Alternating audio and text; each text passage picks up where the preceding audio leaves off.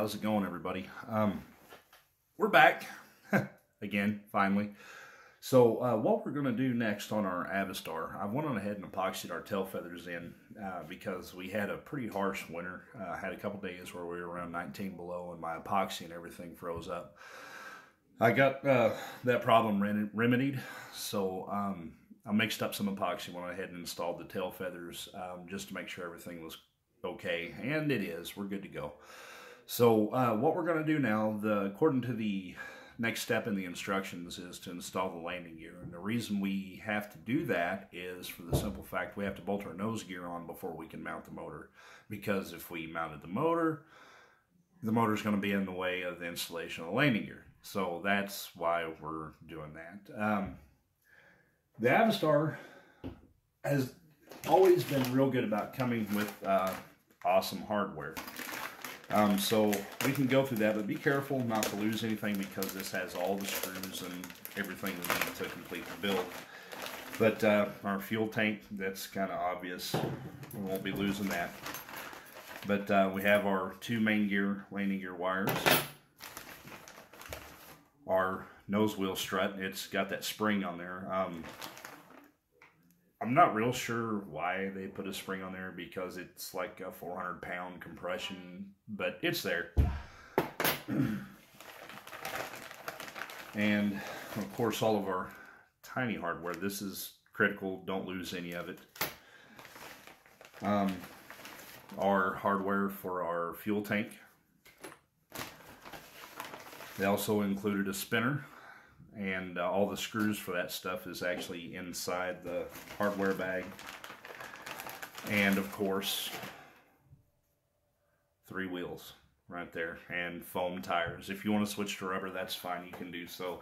Some say that uh, the foam absorbs fuel. I no it don't um, because you're flying everything goes past that. You should be blowing your exhaust on your wheels anyway. If you have your exhaust blowing on your wheels there's a problem your landing gear wire will absorb a lot of it because of the way the muffler is mounted next to the fuselage. So that's never really a problem. So, I mean, just use what they give you. It works just fine.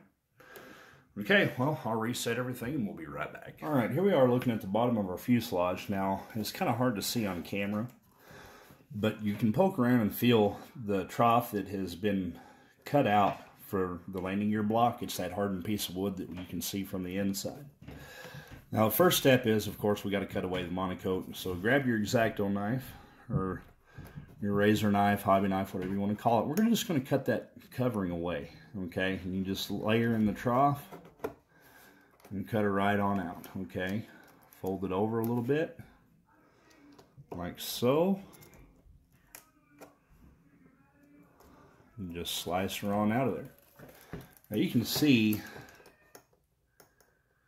that there are holes already there, but we're going to have to do something to those, okay? Because our landing gear isn't exactly a square, sharp corner. Now, if you look at our hole, we're going to have to round those out a little bit and maybe even open them up. Always test fit before you apply. So I'm just going to take a wire and poke it in there. It can be inside, outside, whatever. We're just checking the fit. That's actually really, really way tight. Um, that one actually fits okay. Well, no, it tightens up as you go deeper. So we're going to drill those out. Okay, and I'm going to use my Rocky Mountain Twist uh, drill bit set and my DeWalt. We're going to match a drill. And what I always do is I'll just grab a wire and you can take your drill bit and hold it up next to it like so.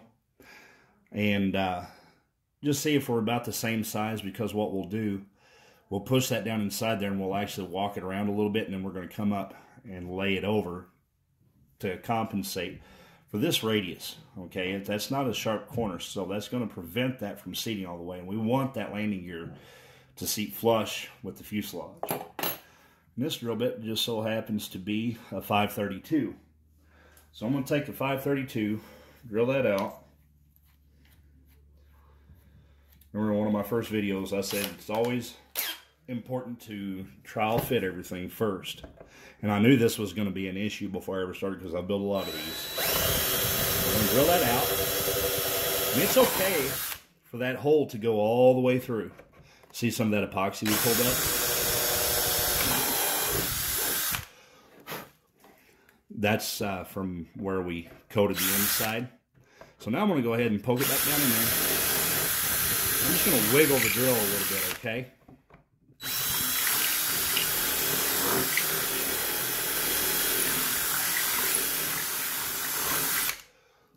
That way we get a good fit. And before I lay that over, I'm going to throw a wire.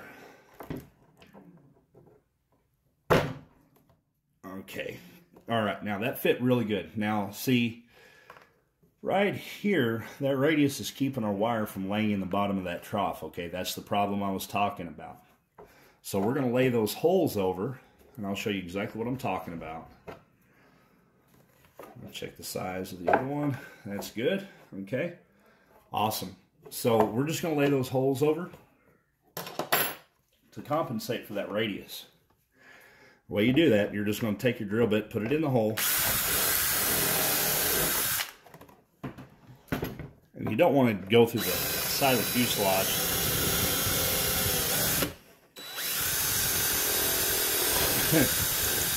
it can be kind of a tricky thing to do but it's a part of it. It kind of takes some practice to do this.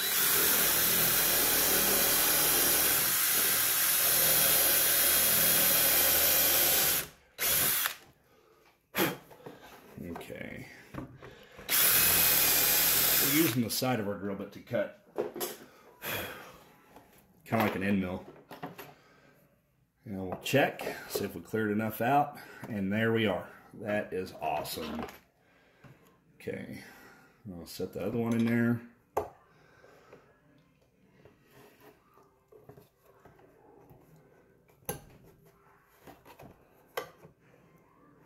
Sometimes when you lay that, okay, yeah, I was gonna say, sometimes when you lay that over, it'll actually push some wood into the hole that was already there and may cause a little bit of a problem, which is no big deal. Uh, you just run your drill bit back through it, clear the hole out, and you're good to go. But now our wire is pretty much flush with our fuselage. So we should be good to go there. I'm opening my hardware bag with all the screws and straps and all that good stuff. So what I like to do, get you a little dish. Just dump everything in there. Like so. It keeps everything from getting knocked off the table and all that good stuff. So what we're going to need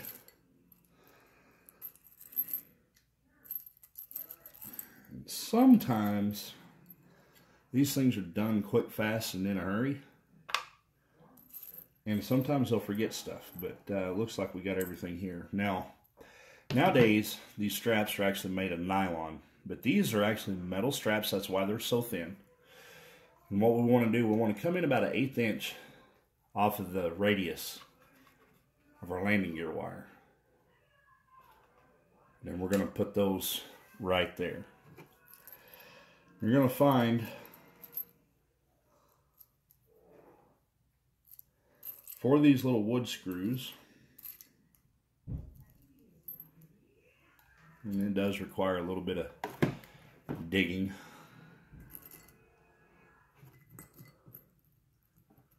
At least this isn't a whole lot of hardware. I remember when I built the 30cc Avistar, it came with like a five pound bag of screws and all that good stuff. So these are the four screws that we're going to use. And I can remember when I built my first one of these, this exact model, I lost half of everything. So I was raiding everything I could to uh, make it work.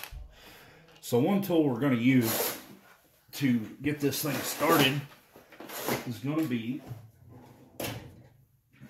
a little pilot hole marker in which I cannot find the sleeve, which is fine.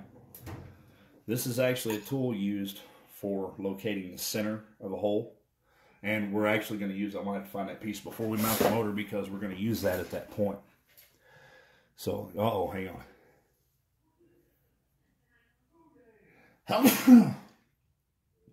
Excuse me. Okay, so what we're going to do, we're going to place our strap, all right? I'm going to mark a hole here. Let's see, I'm just marking it at this point.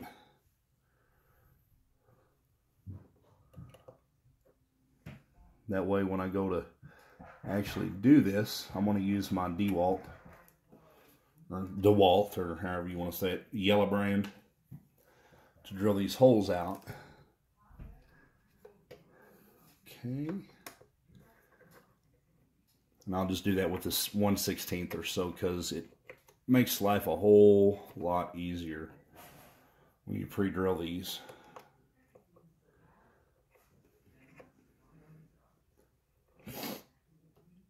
Still having some breathing issues, but a whole lot better than what I was.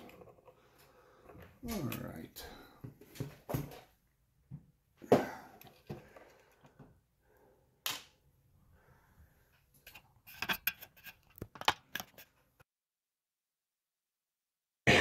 All right, that is there. I'm gonna fish up my drill bit of need.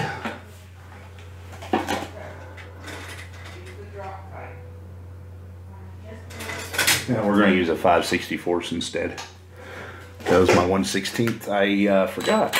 I let a friend borrow it. Or actually, I just let him have it because I know a guy that makes these drill bits. Okay, so we're just going to drill that out, try to get everything as straight as you can. Doesn't have to be perfect.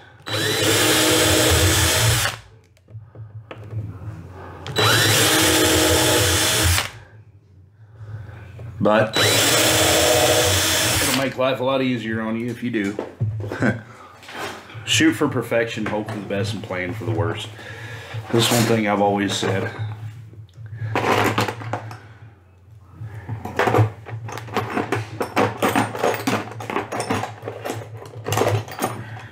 Believe it or not, at one point in time, I actually had all this organized.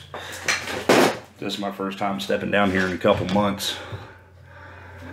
So it's like I got to refine everything. So we're going to get a strap, get it there, and get one of our wood screws that this thing came with. my buddy Josh, he came over. And our plan was, when I got this thing, oh geez, I was just a kid, you know, and he was too. We were the same age, went to school together. We were going to build this thing in one night. Um, I, it was summertime. I was working, made enough money. And I had to buy everything in sections. And what's really cool is I got the catalog that I ordered everything out of still. Isn't that crazy? Um, and it's not the actual one I actually ordered from. Um, one of the engineers I work with had it, and uh, he said, I thought you'd appreciate this and give it to me. Um, he was into cars. But anyway, Josh came over. We were going to sit down and build this thing in one night. I'm getting everything started because I got to go upstairs and find the right screwdriver for this. Never use the wrong tool to get too far because you can wind up screwing yourself in the long run. But I'm just getting this started that way I don't lose the parts. Um, I think we stayed up till three o'clock in the morning. My mom, she uh, bought us pizza that Friday, and oh my God, I can remember it was Doughboys pizza, and it was uh, black olive, mushroom, extra cheese, and those guys they piled the cheese on. And the original instruction manual that came with this. I can remember the guy that was supposed to help me with this, he was cussing because I put a slice of pizza on this and the the grease and the nasties from the pizza was on the instruction manual. Well, we stayed up till almost 3 o'clock in the morning building this darn thing. We didn't get nowhere near it done, but we sure gave it a valiant effort. And uh, we didn't have no Dremel tools. I had a hacksaw blade. I'm going to stop right there on that one. I had a hacksaw blade I did all my cutting with. And uh, it was just a lot of fun. Um, we screwed it up nine ways till Sunday, um, trying to do what we were doing. I say screwed it up. I mean, it was just, uh, we were trying to do more than what we should have been doing. We had a, made a lot of memories doing that, had some fun doing that. A lot of jokes. you know, it was just a just a good old time. Well, okay, I'll be right back. Okay. Still not quite the right one. But, no, that ain't gonna work either, darn it. Okay, well, I'm a little aggravated right now because I had the perfect screwdriver I used for little things like this and I cannot find it. Tools have a tendency to migrate. Um, if you got kids, you know what I'm talking about. So don't try this at home. Let's see what happens here.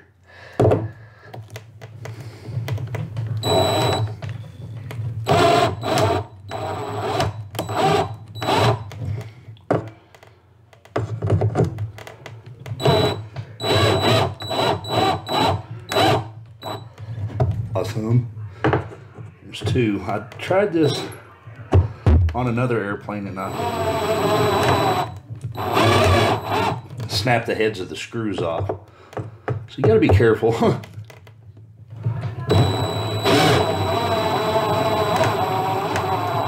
All right, done. Not the prettiest job in the world, but uh, they're there. All right, we'll move on to the nose gear next. Okay, here we are. We're moving on to the nose gear section, and this is actually a part where ARFs have improved drastically. You notice I have a pen mark right here. This is actually where the nose wheel steering rod is going to come through. I never really did like this about this ARF because we have to not only drill through the floor of the fuselage, but there's also a bulkhead we have to, or actually a tank support we have to drill through. That is this right here, this piece right there. We're also going to drill through. And um, nowadays, if you've built an arm like this, um, it no longer comes through the floor of the fuselage. It actually comes out of the firewall.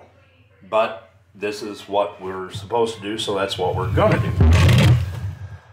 Now the instructions say, make a mark two and one quarter back from the firewall and three quarter over from the side of the fuselage. And we're supposed to drill this at 30 degrees. Okay, believe it or not, I don't have a protractor down here. I do at work, but not here. So I'm gonna drill the hole straight through the firewall first, and then I'm gonna angle my drill back to go through so we can get to our servo tray with our push rod. Now it's an eighth inch hole. Get it right in the middle of the mark there.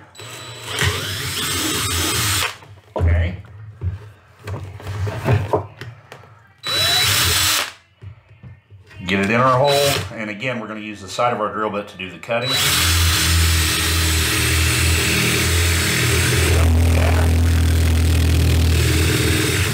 And then through the fire, the tank support, like that. Now, looks, I don't like the looks of that, but that's what it is, we'll smooth it out once we get there.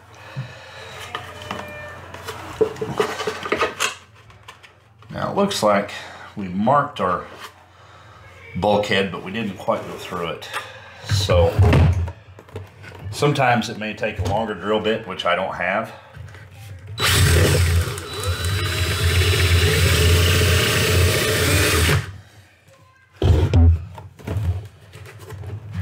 And we can cut that extra MonoKote away to get through it. Oh, you know what? I just, I just had a thought.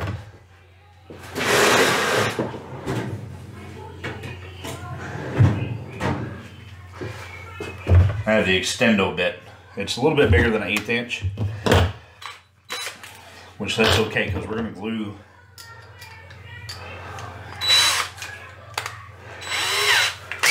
everything into place. Now that, that sucker's long. That's what they call an aircraft extended drill. It's a 12 inch long drill bit. Boom, just like that. Okay, now we got that in play. We're going to go ahead and mount our nose wheel. Now, this is always the front. And if you look, there's a flat right here, okay? That's so our screw can grab. And the way I do this, you can use a flathead or a Phillips on this. I'll get it started to where that screw is on the flat. Just barely a little bit of wiggle room, still allowing it to slide. Now if you'll notice, it kind of tapers out right here from where they grinded at the factory. You don't want to be on that taper. So you slide it down till it stops. That's where that taper is going to be. Go ahead and give it a tighten. Like that. Hey.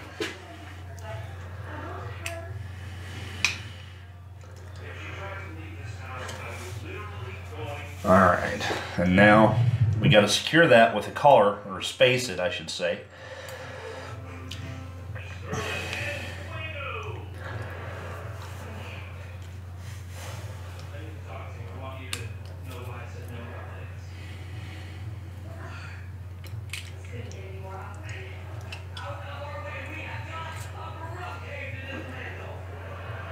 Well, that's just actually going to act as a spacer.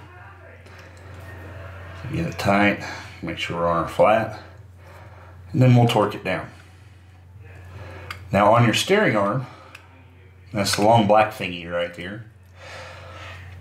You got to be careful with that because that piece is brass. You can't over torque it and strip those threads out, so you don't want to do that. So I'll make sure we get that one good and tight and then use a fair amount of pressure on your steering arm. Okay, and then see this will actually slide in here.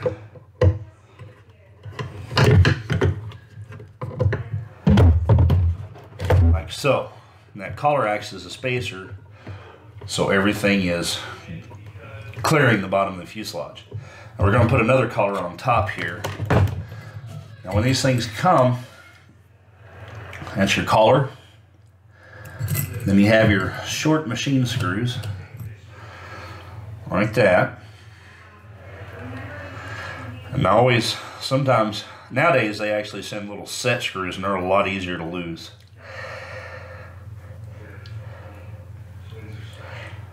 You'll screw that down in there, you can see that hole. See how it's poking through the hole? Just back it up to where it's going to come out of there. And then, sorry I'm so shaky, that medicine I'm taking makes me shaky. We will, let's see if I can get this on camera here.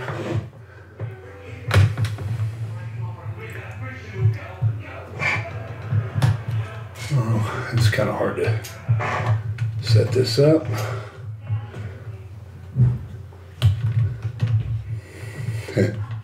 Bear with me. I got this little cheap camera mount. Right, there you go. You can see it now. You can see we have that little bit of control rod poking up there, or the steering rod. I'm to slide that on there.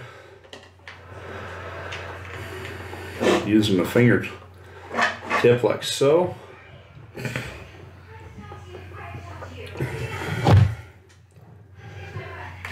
And then tighten her down.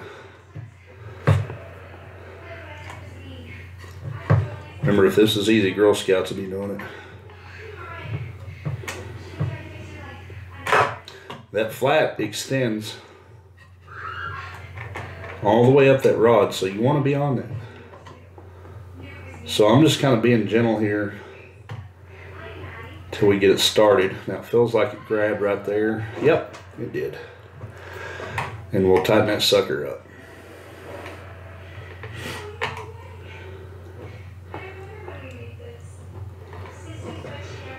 Fair amount of torque. Now you can pop that off there because that sucker does not come up very far past that, okay?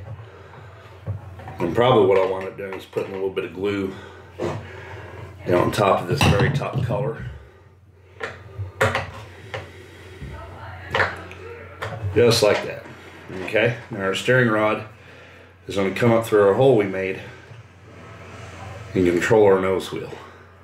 I will move on to that next.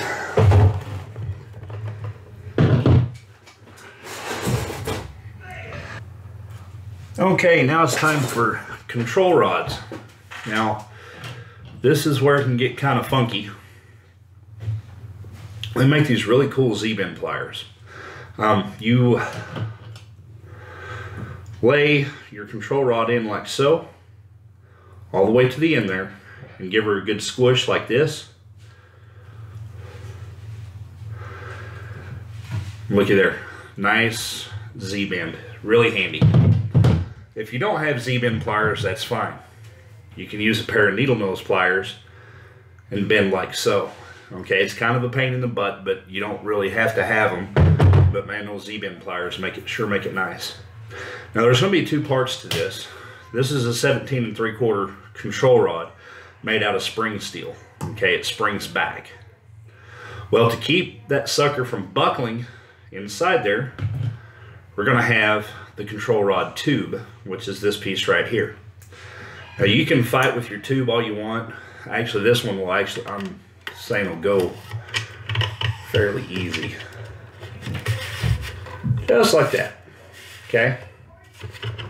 Not a problem. Sometimes if you're fighting with it, um, you can actually insert, find the hole we made, insert your control rod and then slide your sheath around it, or the uh, control rod tube. What we're going to do in this case is put them both in at the same time. Just like that.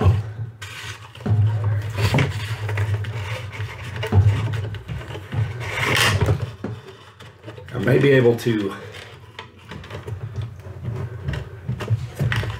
see the instructions said to put this in first, but I'm going to tell you something. Probably would have been easier to slide this on with the control horn and then put that on. That's okay. We can come back and slide that on. What I'm going to do, I'm going to get a quick measurement here. I want to pull that tube out to where it's just past that.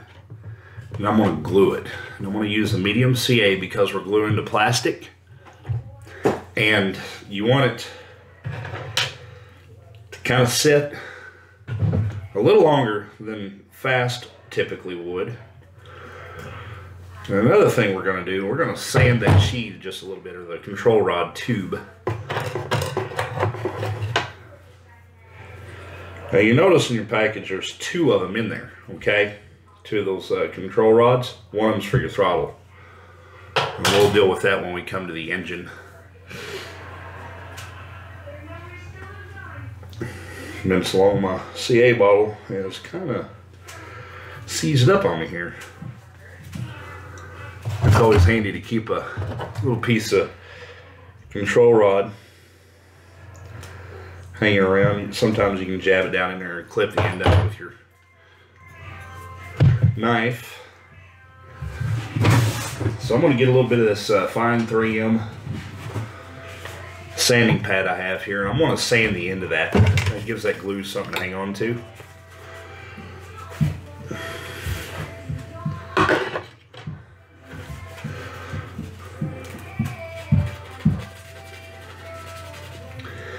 I want to get it stroking back and forth like this. That way it gets some lines to hang on to that way. Then also, I'm going to spin it on there as well. That way we get a good cross hash of everything that needs to happen. Okay, I'm going to put that back in there without the control rod.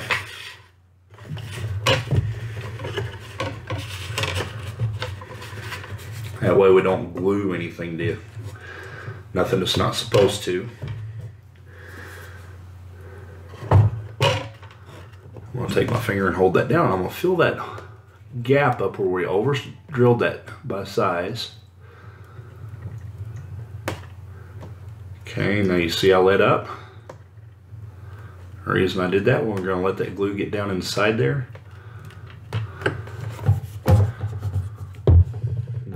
Pushing back. Man, I hate this medicine. It makes me shaky.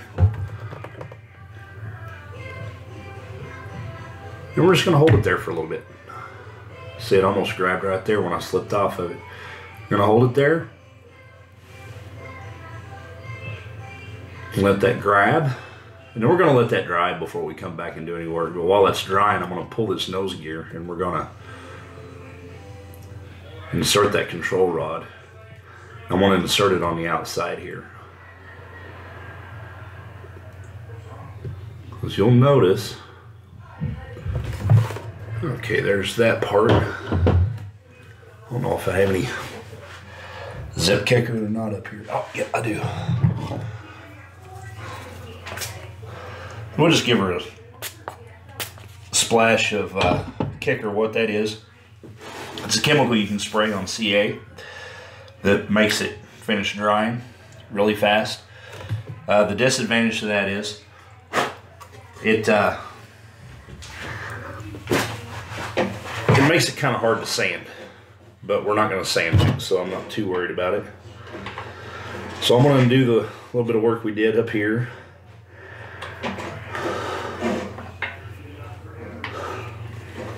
Take that wheel collar, slide that out. There's a piece, there we go. Take that and install that. See, that's how a Z-bend works. We're gonna er, er, er, er, steer just like that. Then I'm gonna insert this, like so. This will be a little tricky. It's gonna be kind of hard. Partly because our, there we go. Our uh, push, our control tube, control rod tube was pushing against our back bulkhead. Cause not letting it go through. Wham, wham, wham, wham. Just like that, man. Isn't that cool? That's slicker than snot on a doorknob. All right. Now we can put this all back together.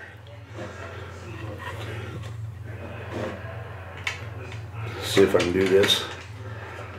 I think they should change my nickname to Crashy to Shaky.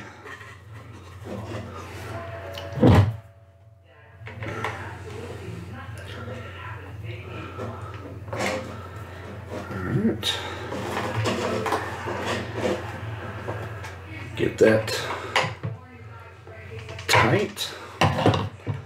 Alright, there we go.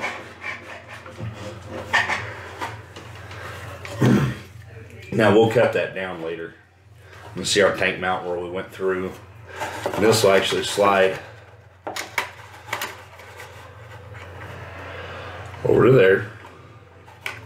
Like so to go on our rudder servo. That's going to be right above our throttle linkage too. Or we can glue that later if we want. But now what do you say we get some feet on this bad boy?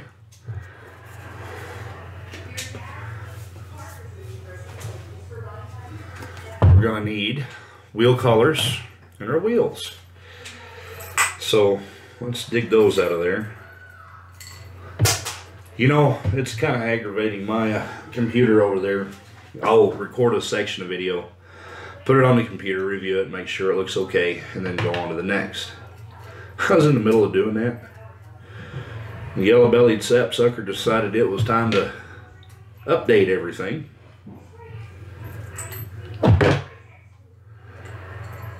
and restart on me. Uh oh.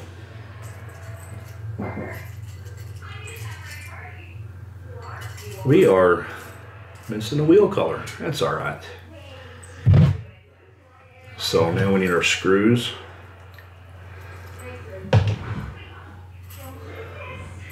We just mainly need them to keep from falling off. What I like to try to do is put one on either side of the wheel.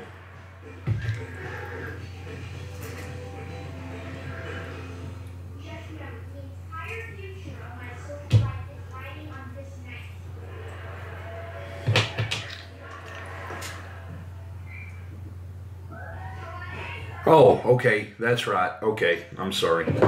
We got like left wheel, right wheel, and then nose wheel. The nose wheel only has one wheel collar on it. I was reading in the book right quick there. So we're good. We're doing what the book said. I couldn't remember that part.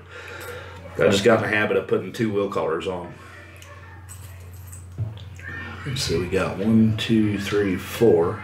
One, two, three, four.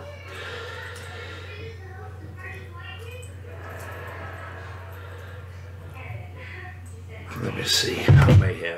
Yeah, I'll put one of those other screws. It's okay.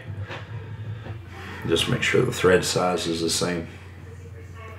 Okay, yep, that's the same. Okay, what happened is, you notice, and this is just fine. I'll put this one on the nose gear. Notice those two screws are different. This one was actually supposed to go into the control arm section.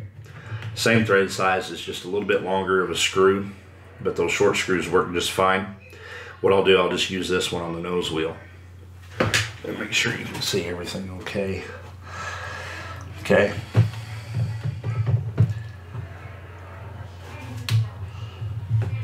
Now this, I'll tell you what.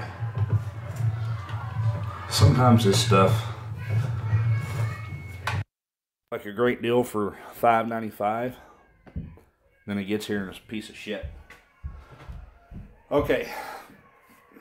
All three of these wheels are the same size, which that works out perfect. Sometimes, I know in kit builds, your nose wheel will be a larger diameter than your main gear. So, what we got all three sizes here. And uh, what we'll do get a wheel collar started. And the reason why there are two wheel collars on the main landing gear is to keep your wheel from rolling up on the radius and actually acting as a brake. Now what I'm going to do is actually glue these into place. Uh-oh, my daughter made some cookies and uh, we're going to try one out here. Mmm. Mm-mm-mm. Those are good, sweetie. Thank you. Yep. I'm her taste tester, I guess. Well, what we'll do is put some uh, thread locker on there. As soon as I can find it. Here. Icy Lock by Bob Smith.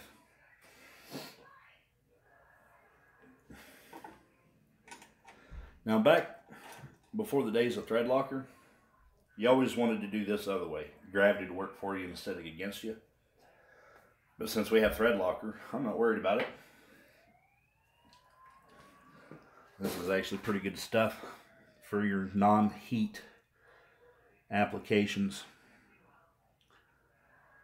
Um, I do recommend, however, um,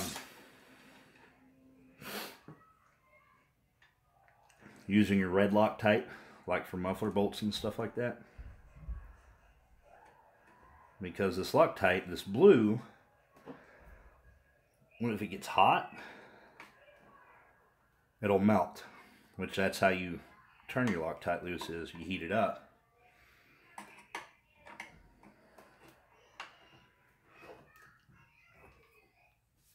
And then, bam you heat it up and then it turns loose.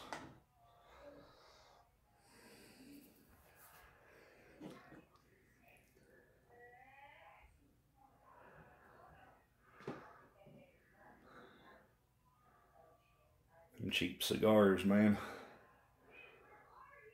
About time for a breathing treatment, I think. Get that little sucker started. Put that on there. You to put it on there so your wheel is free spinning. So what I do, I push it up against it and just back it off a little bit. I mean, really, if you want to, you can slide it right here. I'm just thinking in case vibration hits and it tries to work loose, you give it a little bit of room to wiggle. But you want your wheel be able to spin freely like that. After all, it is an airplane. It's made for flying, not driving on the ground, right?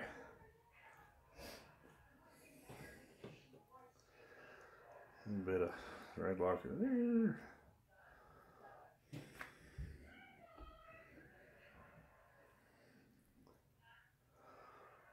Screw. Slide that on like so. Now the thread locker, typical rule of thumb, it's 24 hours before it's actually doing any good. Don't get no wise ideas.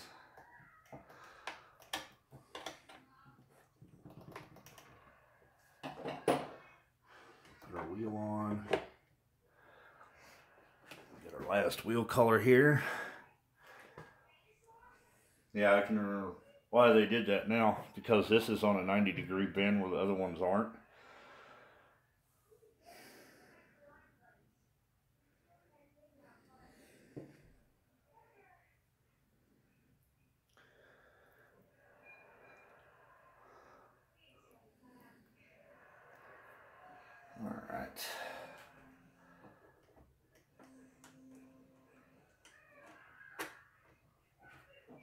that sucker on there.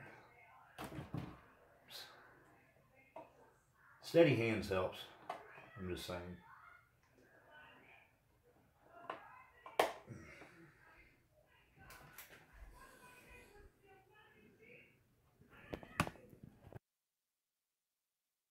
I got my good microphone on.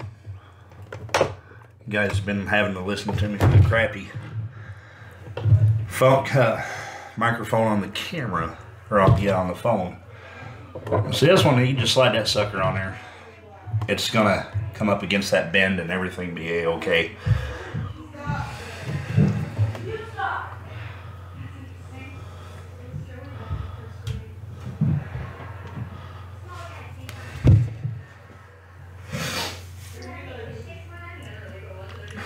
Get that one started.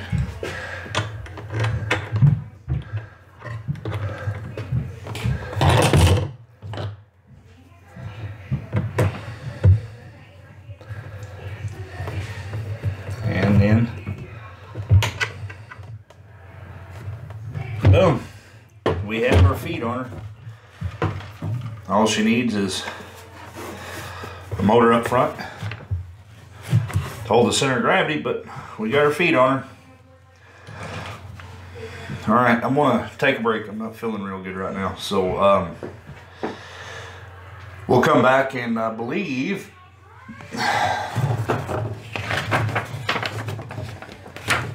Yep, we're going to do our motor next, okay? So when we come back, we'll be doing that. All right, folks, I just want to thank you for joining me in this episode of uh, Big Sky Hobby Corner as we advanced, advanced our um, Generation 1 Avistar in the build. You can see we have her sitting well on her feet on a messy workbench, and you can see that Super Tiger 45 sitting on the nose of her. Don't worry, I haven't taken any steps yet. I put it up there just to hold the nose wheel down to set the center of gravity. Thus far, we're not truly balanced. But uh, in our next episode, we'll uh, get the motor mounted and set our throttle linkage and have all kinds of good stuff. So I'm going to cut this one short. We're going to hit the editing floor, put it all together, and uh, get her posted. Anyway, we'll see you next time on Big Sky Hobby Corner, and thanks for watching.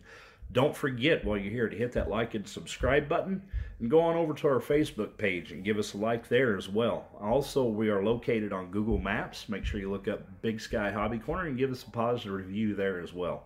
Anyway, thanks for watching. Have a good one.